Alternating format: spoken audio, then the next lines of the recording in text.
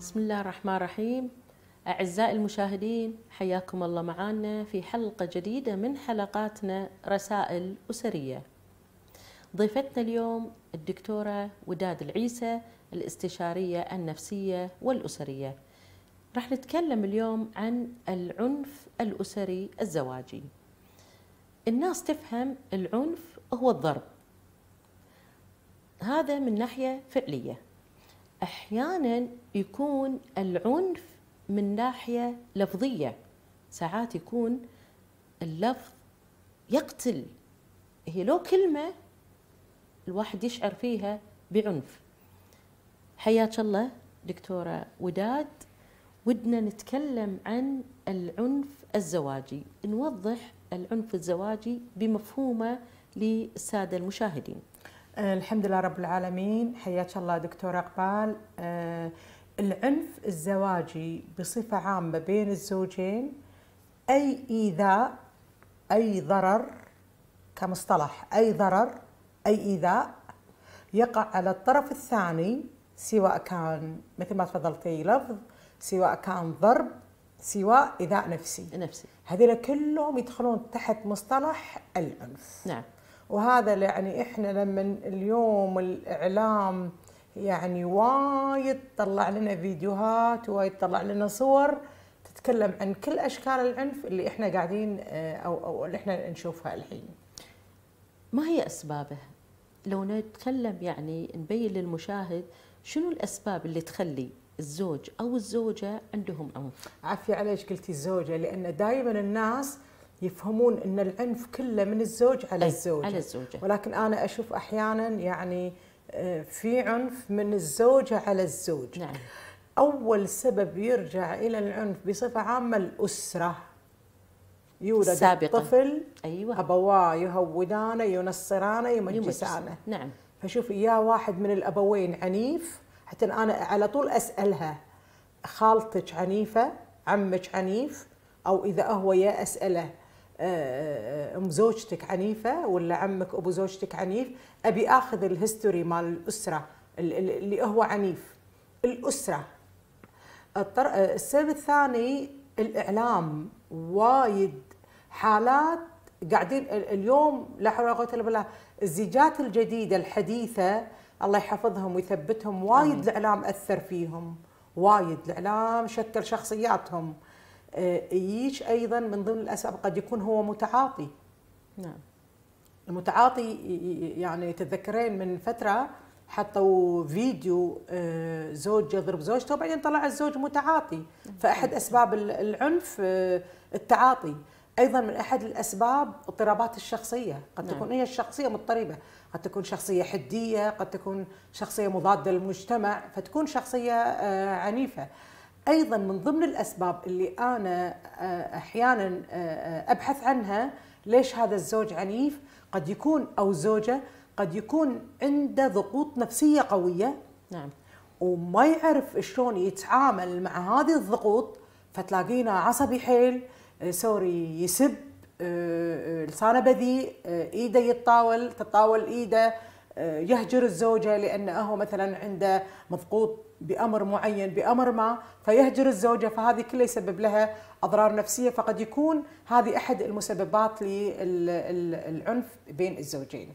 طبيعي بعض النساء بعد يعني من أي. الحالات اللي تمر إن البنت أيضا كان في علاقات سيئة مع أمها وأبوها إيه فلما تجي تتزوج يعني حاطة ببالها إن راح تتكرر الحياة السيئة اللي شفتها من أمي وأبوي راح أشوفها من هذا الزوج إيه. يمكن الزوج يكون طيب يكون حبيب يكون يعني ف للأسف للأسف إن هي داخل نفسها مو راضية تنسى صورة أبوها أو صورة أمها هاي. وتنتقل إلى حياة زوجية هي بنفسها تقدر تغير من هذه الحياة.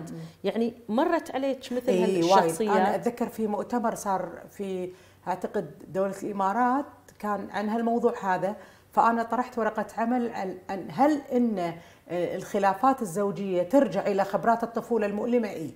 نعم. فأنا عرضت كل الحالات اللي أنا شفت الحالات الحية الواقعية من ضمنها إن كانت فيني كانت عندي حالة آه، آه، كانت يوم هي صغيرة هي متينة شوية مليانة فكانت أمها كلها آه، تقول لها انت ما منك فايدة.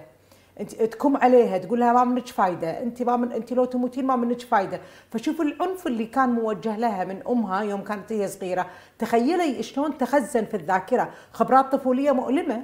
ترسخ صح. في الذاكرة لا حول ولا قوة إلا بالله. فلما كبرت شوفي قعدت مع الزوج ما لقيت في الزوج ولا سلبية وقدامها حضرته قدامها فلما بعدين رجعت لها قلت تعالي أعطيني يعني أعطيني سبب. شنو هالكآبة اللي انت تعيشينها؟ فهي اعترفت قالت لي دكتورة أنا يوم كنت صغيرة أمي كانت تقول لي أنت ما منك فايدة أنت لو تموتين ما يطلع منك الخير. انت لو شنو ما يطلع منك الخير فأنا لو شنو أسوي حياتي الزوجية مستحيل راح تكون سعيدة حطتها ببالها يعني. على طول شوفي تخيلي شلون الخبرات المعن... يعني هذه الطفلة كانت معنفة لفظيا أي. من الأم هذا التعنيف أي. اللفظي أي. اللي نقوله أعزائي المشاهدين فاصل ونواصل مع الدكتورة وداد العيسى بعد الفاصل أعزائي المشاهدين نكمل حديثنا عن العنف الأسري مع الدكتورة وداد العيسى الاستشارية النفسية والأسرية. دكتورة وداد شنو أسباب العنف الأسري؟ أنا قلت لك أسباب العنف الأسري يا أن الزوج يطلع هو آه، تعرض إلى عنف من الطفولة في فترة الطفولة. نعم. أو تربى في أسرة أحد الأبوين كان يمارس العنف وياه. أو إنه هو مثل ما قلت لك يتعاطى. فلما يكون انزل. هذا الزوج يتعاطى فأمر طبيعي يكون زوج عنيف. أه لو عندي أنا هذا الزوج أو الزوجة وبحثنا عن ماضيهم. لقينا الماضي ممتاز ما في شيء. تاريخه؟ تاريخ ما في إيه؟ شيء. ممكن إن مع الكبر أو مع الزواج يحدث هذا العنف إيه؟ أو التغيير النفسي بالنسبة للبنت أو بالنسبة للزوجة أو للزوج؟ يرجع إنه يا إنه هو آه، تعرض إلى ضغوط نفسية حالية قاعد يمر فيها. أو ممكن وظيفة؟ إيه هذا ضغوط نفسية من وظيفة من آه، قاعد يبني بيت. يعني حتى أنا دائما أقول حق الزوجة إذا زوجك قاعد يبني كونين أنت مثل الإسفنجة امتصي الغضب اللي عنده امتصي الغضب اللي عنده. لا تناطحينه في لحظة تذكرين أول أهلنا شو يقولون إذا بقيت تدعي على واحد يقول له يعلك تبني. من أيه. كثر ما أن البنيان يسبب ضغط نفسي صح. يعني. أيه. آه إذا كان عنده ضغوط نفسية قد يعاني من أمراض نفسية وهي ما تعرف عنه ما تدري عنه.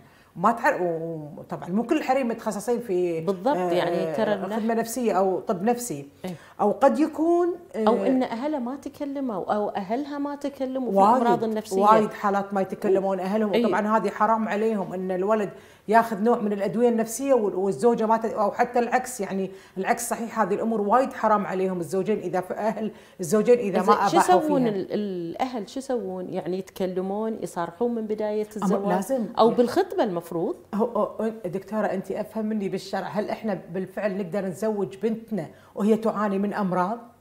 يعني هل هذا يجوز؟ هذا زواج غرر في إيه غرر. اي هل إحنا نزوج ولدنا وهو يعاني من أمراض؟ يعني أنا وايد زوجات تقول أنا دكتوره أشوف ياكل حبوب معينة. زين أعطيني شنو أسامي الحبوب عشان أنا أقول لك شنو هذه الحبوب؟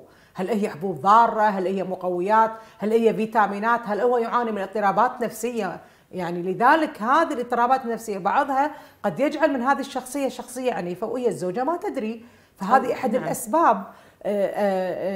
قيد أيضا إذا كان مثل ما قلت لك أحد الأسباب إذا كان هو متعاطي، التعاطي يجعل منه شخصية عنيفة وهذا أمر طبيعي، أنا دوري هني يعني أنا ما يعني لما وايد حالات تقول لي دكتورة أنا زوجي عنيف شنو أسوي؟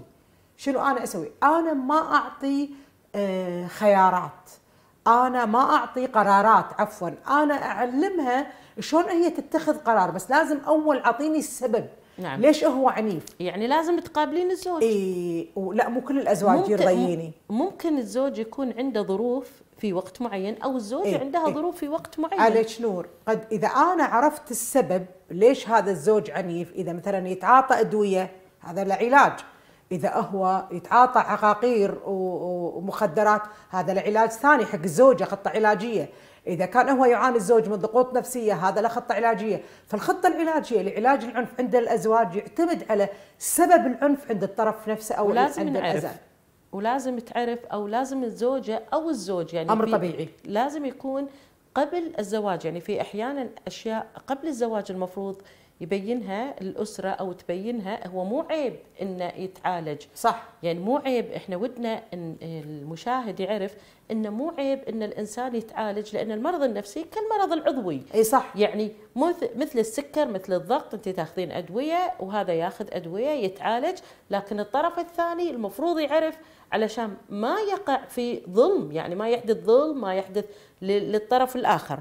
أعزائي المشاهدين تابعونا في الحلقة القادمة مع رسائل أسرية لنكمل هذه الرسائل وإن شاء الله تكون فائده للجميع.